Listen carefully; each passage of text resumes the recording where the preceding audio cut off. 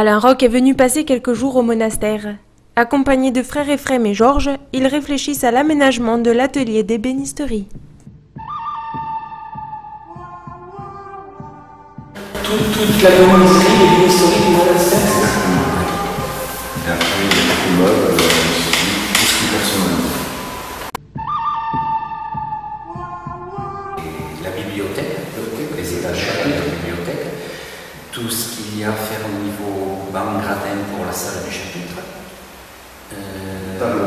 il y aura tables de les la tables salle à manger. de la salle à manger, euh, ainsi que celle de, de la grande salle de réunion un peu poly- polyvalente, un peu, que c'est ce que vous avez prévu, je crois. Voilà.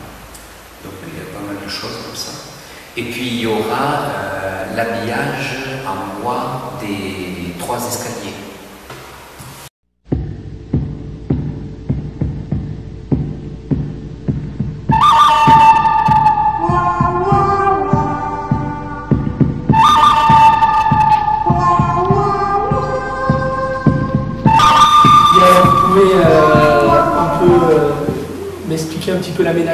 Là sur place, du coup, ce que vous avez fait.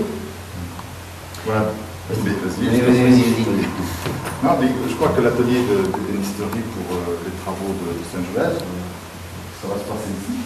Et on va pouvoir mettre euh, en tout 11 machines à bois.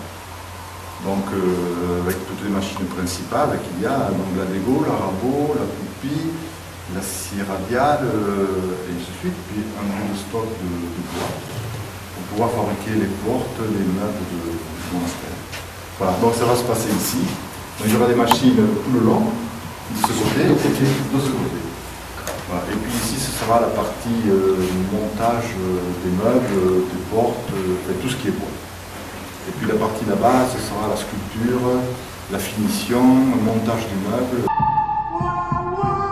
Les récupérations de, bâtiments d'une verrière qui existait avant à l'entrée de la petite chapelle de Saint-Joseph, et donc euh, qu'on avait récupéré, qu'on avait gardé, et voilà, ça nous a servi à, à monter cette cloison. Les- la porte, c'était en fait les panneaux qu'on avait achetés pour avoir, les, lorsque nous avions fabriqué les vitraux provisoires de l'église pour que les, les pluies ne rentrent pas à l'intérieur de l'église en attendant que les vitraux soient terminés. Donc c'est uniquement de la récup. Les poutres qui soutiennent la verrière, tout ça, etc., c'était la charpente de la verrière, justement. Voilà.